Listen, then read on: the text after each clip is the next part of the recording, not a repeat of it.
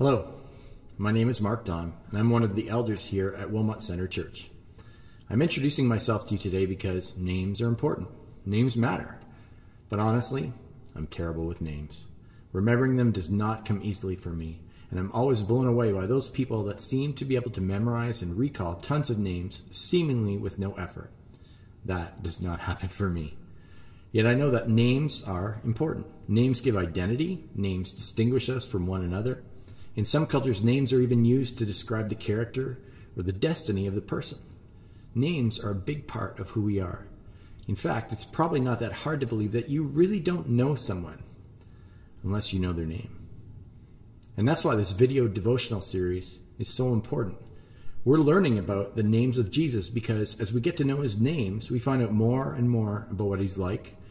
And the better we know him and what he's like, the more likely we are to trust him and that's when our relationship with Him will grow.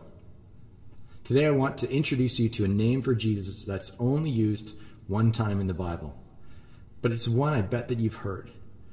It's found in an Old Testament book called Isaiah 9, verse 6, which is pretty cool because it was written almost 700 years before Jesus was even born. Now, in that Old Testament book, the prophet Isaiah is talking to the people of Judah about their upcoming captivity in Babylon. It's not a cheery message. But in amongst the warnings are some amazing verses about a coming Messiah, verses that Jesus would eventually fulfill with his coming. And here's the verse I want to focus on in chapter 9, verse 6. For to us a child is born, to us a son is given. And the government will be on his shoulders, and he will be called Wonderful Counselor, Mighty God, Everlasting Father, the Prince of Peace. There's some great names for Jesus in that passage, but the one I want to focus on today is the last one, the Prince of Peace. Was I right? You've heard that one before, right? Most likely, you heard it during the Christmas story as we celebrate Jesus' birth. But have you ever really thought about it? The Prince of Peace. The Prince of Peace. Now remember that names have meaning. Names help us to know more about the person we're in relationship with. So, why this name? Why is Jesus the Prince of Peace? Let's start with the word prince.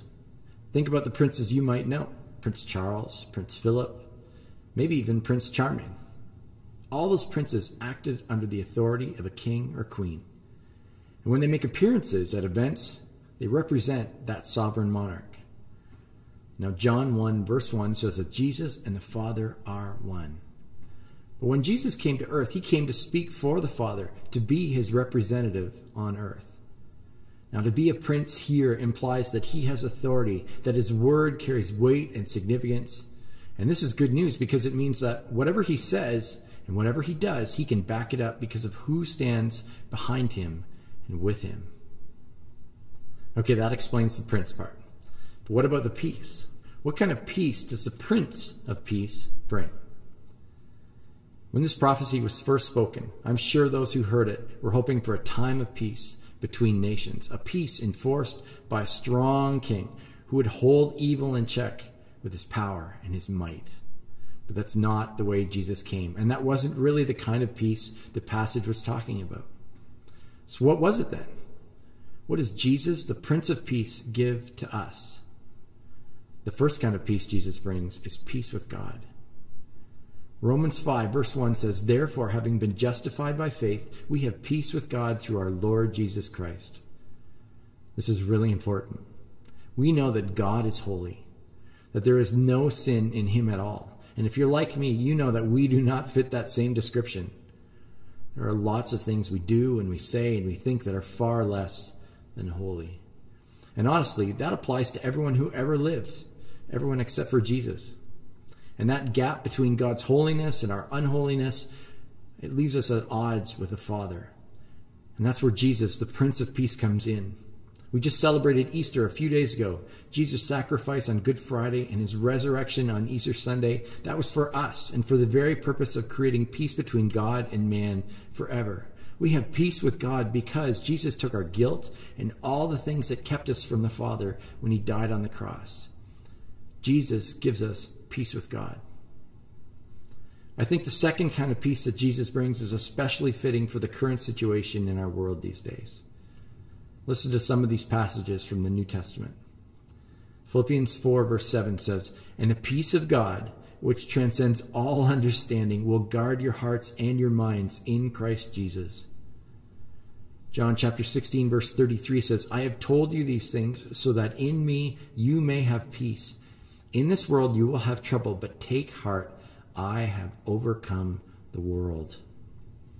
John 14, 27 says, Peace I leave with you, my peace I give you. I do not give as the world gives. Do not let your hearts be troubled, and do not be afraid. Did you catch all of that? Jesus is associated with peace, and Jesus promises his peace. But this time it's not peace with God he's talking about. This time it's peace in our circumstances.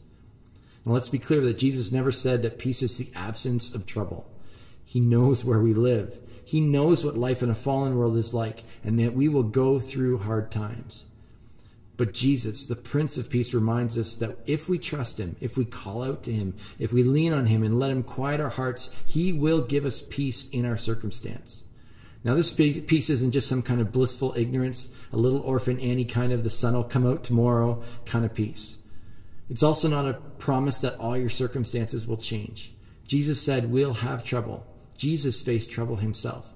But instead, this peace is a deep, firm conviction that the same Prince of Peace who made peace between me and God is also on my side in my circumstance, and that if he goes with me, I can trust him with everything.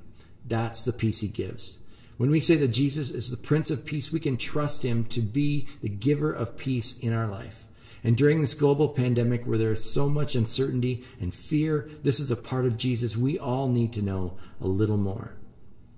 Now, personally, when I was in grade six, I went through a really difficult season where anxiety and fear took over my life, and they started to affect me physically. I was always a fearful kid, but that year I was so afraid of dying that I couldn't swallow, I had a hard time eating, and I would hyperventilate constantly. Getting out of that period of my life took a lot of standing on God's promise to me that He hasn't given me a spirit of fear, but of power and love and a sound mind. I had to learn that Jesus was offering me his peace. And when I finally received it, he gave me a new confidence that I could trust him through anything, and all those symptoms fell away. One of my favorite songs is by a man named Rich Mullins, who wrote a song called Hold Me, Jesus. It's an honest account of a man wrestling with fear and doubt, and the chorus goes like this Hold me, Jesus, because I'm shaking like a leaf. You have been king of my glory. Won't you be my Prince of Peace? Have you thought of Jesus as your Prince of Peace? Remember, names matter. Names remind us about the character and significance of their owner. And as you think about your own life today, remember that the Prince of Peace is with you, and he wants to be your peace. Have a great week.